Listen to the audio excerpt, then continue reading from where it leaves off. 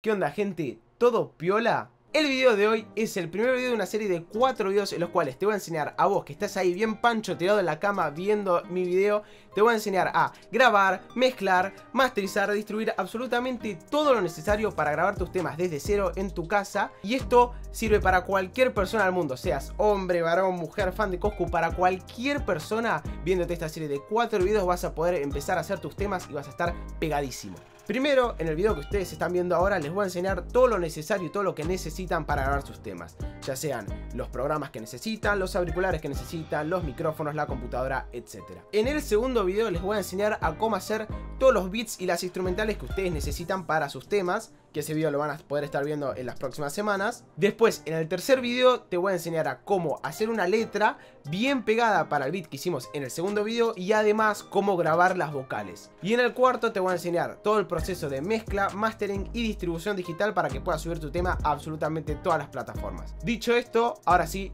Empecemos. Para todo lo que vamos a hacer necesitamos sí o sí una computadora. Y esta computadora necesita ser una computadora medianamente buena. ¿Qué quiero decir con una computadora buena? Me refiero a una computadora la cual tenga como mínimo 8 GB de RAM y un procesador Intel i3. No puede ser la típica computadora vieja, no puede ser la computadora del gobierno y tampoco puede ser la típica notebook que tenés tirada ahí desde el 2007. Cualquier computadora la cual esté de unos 500 dólares para arriba, una Mac o cualquier compu gamer va a estar de sobra para todo lo que les voy a enseñar a hacer en esta serie. Si no cuentan con una computadora como las que dije antes, no significa que no van a poder hacer lo que les voy a enseñar, pero van a ver que van a tener que sufrir algunos problemas de que se les trabe los programas y todo ese tipo de cosas que no está bueno.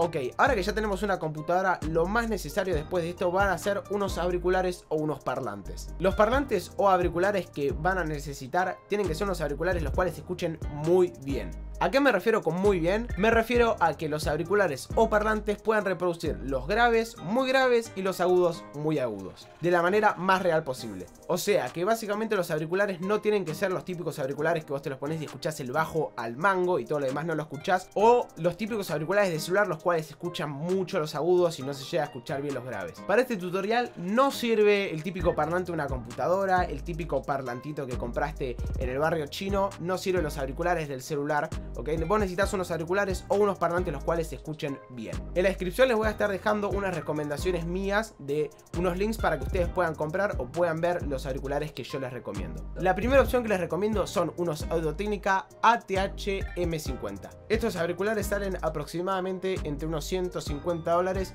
pero créanme que estos son uno de los mejores auriculares que pueden encontrar por ese precio y se escuchan verdaderamente muy bien. La segunda recomendación que les hago son unos AKG K240. Estos auriculares son lo suficiente y lo mínimo que necesitan para estos videos. O si ustedes también quieren invertir un poco de más plata, pueden comprarse unos monitores de estudios como los que yo tengo acá. Ahora que tenemos dónde hacerlo y dónde escucharlo, vamos a necesitar una interfaz de audio. Una interfaz de audio es esta cajita que están viendo acá. Y ustedes se preguntarán para qué sirve esto. En esta cajita que ustedes están viendo acá van a poder conectar sus auriculares, sus micrófonos, sus guitarras, sus bajos, absolutamente todo lo que hagan. Y esto lo van a conectar a la computadora mediante USB y la computadora va a recibir toda la información que ustedes conecten acá adentro. En la descripción les voy a estar dejando dos recomendaciones. Primero y principal, una Scarlett 2 y 2 que es algo muy parecido a lo que están viendo en pantalla. Y la segunda opción es una placa de sonido marca Behringer que es una opción más barata y más económica. Una vez que ya tenemos dónde conectar todo, vamos a necesitar un micrófono. Hay muchísimos tipos de micrófono, pero realmente nosotros necesitamos un micrófono el cual sea condensador. Este tipo de micrófonos es muy útil para todo lo que es grabar las voces, ya que tienen una respuesta muy dinámica y capturan bien las frecuencias. Con un micrófono de este tipo condensador van a hacer que su voz escuche ultra mega 4K con la mejor calidad del mundo. Mi primera recomendación para algún buen micrófono les recomiendo este con el que me están escuchando ahora, que es un Rode NT1A. Puede parecer un poco caro principio, pero créanme que esto es una de las cosas más importantes al momento de grabar sus voces, ya que con esto van a hacer que todo el mundo los escuche. Y como segunda recomendación les tengo el AKG P120, que es una opción más barata y más económica. Y por último, vamos a necesitar un teclado MIDI. Un teclado MIDI puede parecer un piano común y corriente, pero créanme que no. En realidad, en los teclados MIDI no hay ningún sonido. Lo único que hace el teclado MIDI es enviarle cuando vos apretás una nota en el teclado y la computadora recibe qué tan fuerte o qué tan despacio tocaste esa nota y cuando vos la tocas reproduce un sonido que vos elegís en tu programa. Ahora que ya tenemos auriculares, computadora, placa de sonido, micrófono, tenemos absolutamente todo, ustedes se deben estar preguntando qué es lo que sigue. Vamos a necesitar un Do. o mejor conocido como Digital Audio Workstation. Un DO es un programa en el cual se puede descargar en su computadora en el cual van a poder grabar todos sus temas, grabar las vocales, hacer sus beats, mezclar, masterizar, van a poder hacer absolutamente todo. Es una hoja en blanco en la cual van a poder hacer todo desde cero.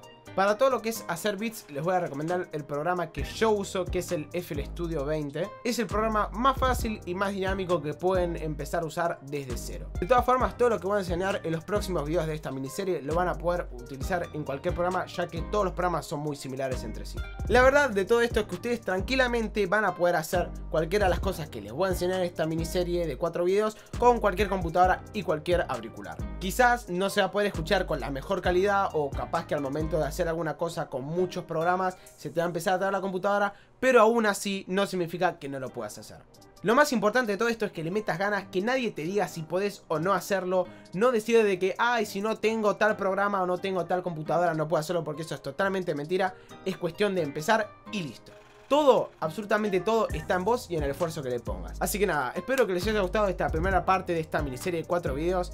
En el siguiente video les voy a estar enseñando a cómo hacer un beat de trap desde totalmente cero, sin saber nada. Les voy a mostrar todos los pasos a seguir para que ustedes puedan hacer sus instrumentales. Así que en esta semana van a poder estar viendo el próximo video de cómo hacer los beats de trap. Así que nada, hasta acá estaría llegando el video. Espero que les haya gustado. Nos vemos en el próximo video. Ya saben, en esta semanita les voy a estar subiendo. Like, suscríbanse, activen la campanita, sigan Instagram que como están viendo en pantalla, arroba matutesureda. Y nada, nos vimos en Narnia.